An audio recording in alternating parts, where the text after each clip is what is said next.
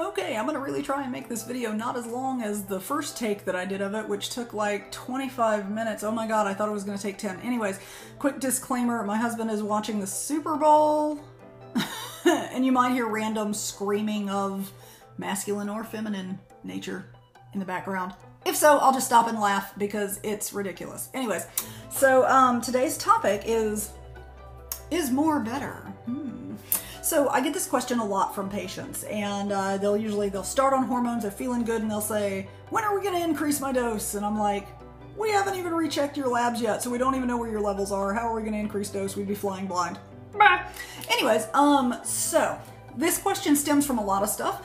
It stems from uh, you know they're happy and they think wouldn't more be better. Uh-huh. Um, and then also traditionally I do get, 100% do get that like healthcare providers gatekeep and I believe outright lie sometimes to their patients, um, usually out of ignorance on their own part. They just don't know um, the answer, and so they kind of do a poo poo, you know, uh, just kind of a BS answer to get off that topic really quick. Um, it's not the way it should be handled, but a lot of people are uncomfortable admitting that they don't know something. Um, Anyways, so I do get that people are used to being given like half-ass hormone therapy um, or other practices tend to like low dose people for a prolonged period of time saying that they need an introductory phase of a year or whatever. That's whatever. That's not how we operate here at our clinic. Um, we start people off if you're going for full transition results, that is, not like if you're going for more of an androgynous ish thing or just testing the waters or something and we're going with lower doses, this is completely different. But if you're going for a more full transition look uh, towards masculine or feminine, uh, we are going to be starting you off on full doses like that. It's not a thing that we're going to low dose you for some kind of period of time. That's that no. Um, we will sometimes advise people, hey, you might want to cut the dose in half for the first week or two just to minimize any side effects going in because it is kind of be it's going to be a shock uh, to your system having one hormone go up and the other go down. Um, and so you can minimize your side effects by easing into it. But at any rate, we start at full doses. So when someone asks for more, we're like, mm, mm. now, while sometimes doses do need to be increased, I want people to understand that we start them at full doses. And so we need labs to figure out where your levels are at before we can then increase or decrease or stay the same because we wouldn't know what we're doing if you just say, hey, I want to change my dose. And I'm like, have we got labs? And you're like, nope. I'd be like, well, how do I know where to change it for? but uh, anyways, so like I said before, it's flying blind, and it would be pretty negligent on my part to just be like, okay, and do it. And I'm going to discuss why. So first, we're going to cover testosterone um, and why it's not a great idea to just fly blind. Uh, with high levels of that, and then we're going to discuss estradiol therapy and why it's not a great idea to fly blind with high levels with that. So testosterone, hopefully quickly. um, let's say that your levels are whatever normal levels that I'm looking for, depending on when they're drawn, is about 300 to 900 ish of a total testosterone level. Let's say that you're feeling great and we just randomly increase your dose for no freaking reason and your levels are running twice the top of the norm. They were 1800 or whatever. Uh, anyway, the set point is going to be different for everybody, whether we're talking about testosterone or estrogen therapy. Uh, this is going to be genetically driven where your set point for these adverse effects are, but let's just go extreme with 1800 because that would probably do it to just about anybody. Um, so your testosterone level is 1800. What can happen? So what's going to happen first is that this wonderful little thing called aromatase is going to go and testosterone and aromatase are going to combine and testosterone is going to aromatize or change into different estrogens. Now there are different forms of estrogens that it can uh, transition into and which kind depends on you. Um, but you can imagine this is not great whenever testosterone becomes an estrogen because if you do that a lot, exactly what you're thinking is what can happen. Uh, you can get increased chest tissue, swelling, and whatnot. You can get, um, oops, sorry, I was gonna burp, but it wasn't worth it, so here we are. Um, anyway, so increased chest tissue and or swelling. You can get, um, increased cycle problems, either bleeding or whatnot. There he goes, he's screaming. Glad I gave that disclaimer. I'm too stupid to use the editing software to get rid of that. So if you heard it, you heard it. If you didn't, oh well, meh, you'll live. Um, so anyway, so testosterone can change into estrogen whenever your levels get too high, and that can cause menstrual issues such as bleeding, cramping, whatnot. Um, it can cause chest fat deposition to even recreate breasts uh, to a degree if you've had top surgery. So these are things we don't really want to happen. That's why we watch your levels pretty close and won't just arbitrarily increase it just because things feel good and you think they're going well. Um, the next thing that's kind of bad about having elevated testosterone levels without, you know, regard to the the feminizing effects that can happen from it uh, is that all the effects that people worry about with testosterone with uh, regard to cardiovascular risks uh, become a lot more in focus whenever you have these elevated testosterone levels. So things like heart attack and stroke, you know, um, adverse cholesterol levels and things like that, you know, so you got hardening of the arteries, blah, blah, blah. So those are the more prolonged effects of people that have this elevated T level, uh, probably for, you know, longer than a year, probably several years or whatever. Over time, that's when this is going to happen. But I mean, it does happen. And so you know, you don't want to have these elevated testosterone levels just sitting there increasing your overall cardiovascular health risk. Um, and that would be on top of whatever your normal risk would be, you know. Um, so, in summation, testosterone being too high can cause testosterone to change into estrogen, which seems pretty dumb in and of itself. And then it also increases your cardiovascular risks over time. Um, now, on to estrogen therapy. So, estrogen therapy is similar in that there is a different set point for everybody. It's not going to be the same level that sets things off for you know everybody. It's going to be genetically set. Um, but let's say you know talking about estrogen injections, which are typically done about once a week. Uh, the levels I would be looking for would be maybe somewhere between 150 and 500, depending on when uh, the labs were drawn. And let's say that your level is 1000 or 1200 or whatever. Um, so, what can happen whenever your estrogen levels go above 500, 600 or so? Well, in the immediate time, like if, if, they're prolonged above that for around about like 72 hours to a week or so, it can actually kick on an opposite effect in the body, kind of sort of like what I just discussed with testosterone and how it aromatizes into estrogen.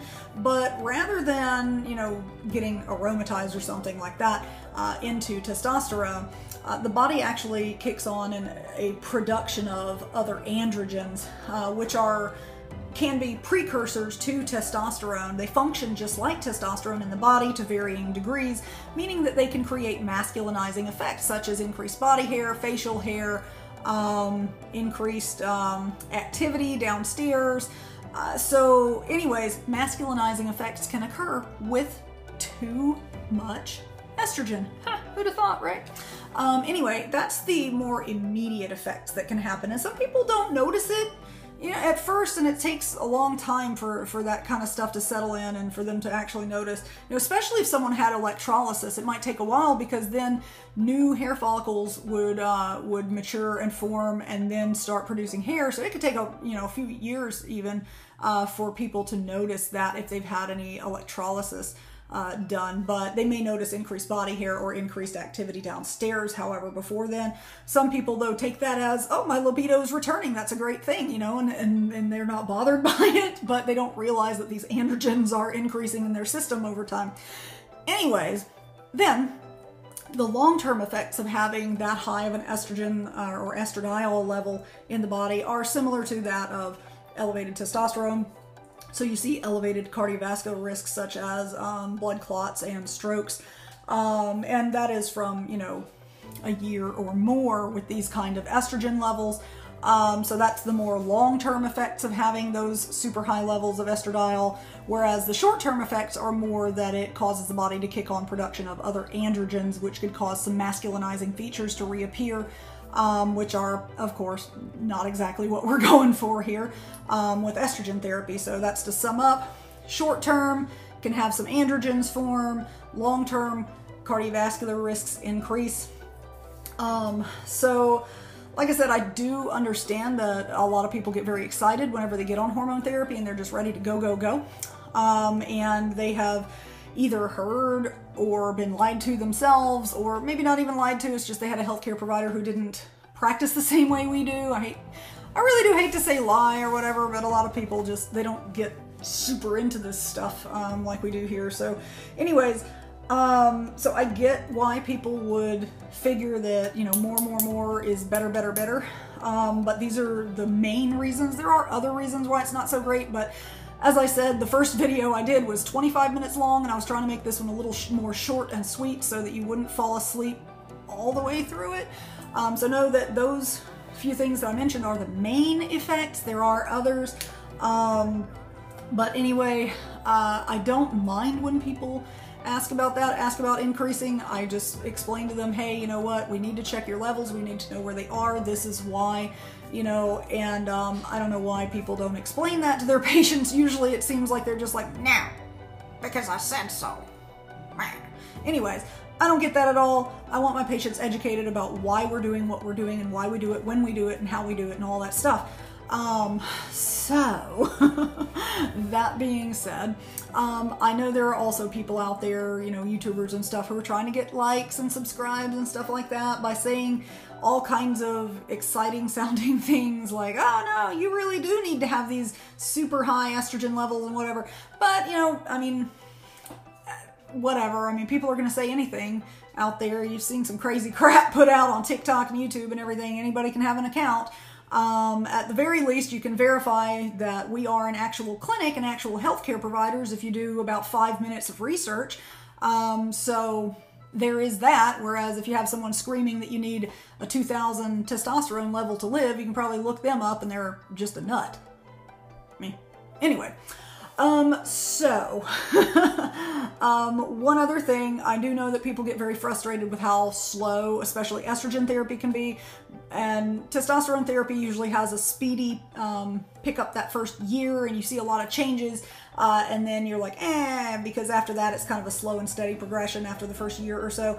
Um, estrogen therapy takes two to three times as long as testosterone therapy does to produce these significant effects uh, which hardly seems fair, but here we are.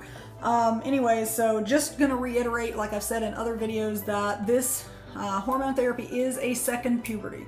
In your first puberty didn't take less than a year, neither is this one. Uh, you're gonna go through some spurts, you're gonna go through some dry spells and plateaus and everything. As long as you're keeping your levels where they need to be and you're taking your meds the way they're prescribed, you will progress. You know, you you will do it. It just takes time and commitment. Um, and I know nobody likes to hear that because it's just like trying to lose weight. you get a little burst and you get excited, and then nothing happens for three weeks, and you're just like, ah, screw this and eat a cake. Um, but anyways, I just don't want anyone out there, you know, overly judging themselves because things are going a little slow. There are YouTubers out there who like to claim that they got a full set of boobs in like six months, and they're either lying, had surgery, or I don't know. I've just I've never said, seen a mature set of breasts in you know six months or whatever. I've seen some swelling that was quite impressive. But that was not actual breast tissue development and stuff. That was someone doing something very bad with a medication they should not have been taking that they got off of uh, an online source. Um, but anyways, uh, so be careful out there with the education that you consume. I'm sitting here saying that and on my YouTube channel, but like I said, it doesn't take but five minutes to look up our clinic and find out about Stacy and Lee Pace and that we actually are healthcare providers out here trying to provide education to the community. Um, whereas you can check on Joe Blow and find out that they're just some nut living in their mom's basement, you know, free freebasing.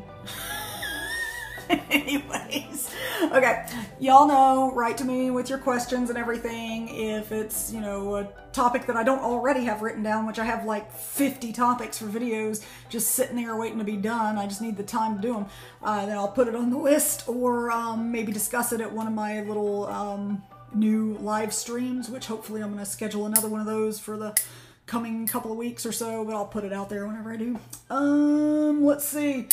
So, okay, well, I guess I'll end it. I thought that Lee was going to be doing a lot more screaming, so I guess either it's a boring game or I don't know what's going on. Maybe hmm, I should go check on him. Anyways, so y'all have fun. Write to me with your questions. Um, don't believe everything you read on the internet.